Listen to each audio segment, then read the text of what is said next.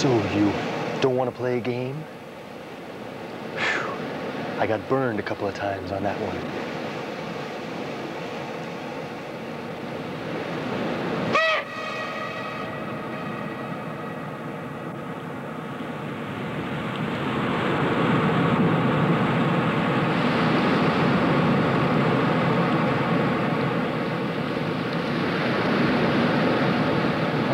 I thought I had the nerve to kill myself, but after my wife had an affair with that hairdresser, I just couldn't face life with the same outlook. Hairdresser?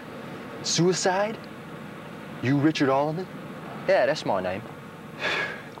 Thought I got the wrong guy again.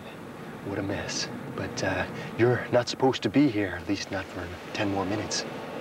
You're dead, but you're supposed to be hit by a car.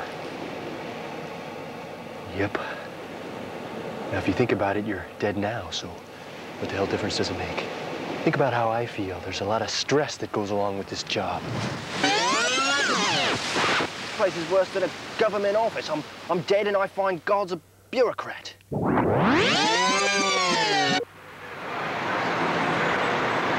I'll be damned. A quarter.